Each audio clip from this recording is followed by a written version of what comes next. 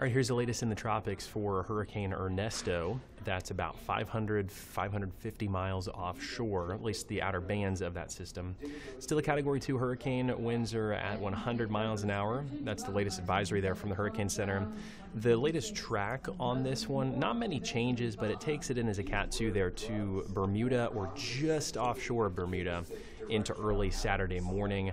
Then it continues to push past the islands, and then as we get into Monday, Tuesday timeframe, starts to weaken, but still a pretty strong storm, getting relatively close to Newfoundland, but staying offshore. It's something we'll watch here, but beyond Ernesto, there are no major storm systems on the way. I think we could potentially close out August without any, and then September as we head toward the peak of hurricane season is something we need to watch.